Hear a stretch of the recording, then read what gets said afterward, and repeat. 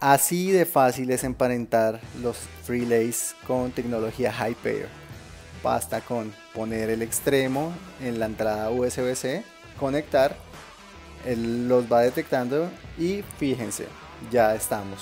Podemos ver el nivel de la batería, configurarlo y saltar de una vez a usarlos con nuestro Huawei.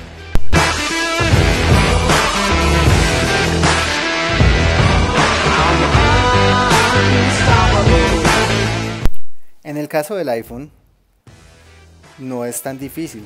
Basta con entrar a las opciones de Bluetooth, como lo estamos viendo en pantalla, y oprimir el botón de on-off en los relays hasta que empiece a titilar, fíjense. Y ahorita vamos a ver en la pantalla del iPhone la referencia de relays. Le damos clic y listo, estamos conectados. Muchos se preguntarán qué pasa con los smartphones de Samsung, por eso acá tenemos un Note 9 y lo vamos a emparentar para que se den cuenta lo fácil que es.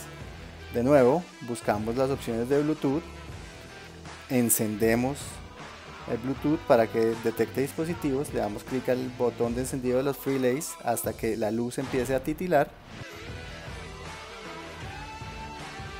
y listo, va a aparecer en pantalla el nombre aquí se está vinculando y ya los podemos usar.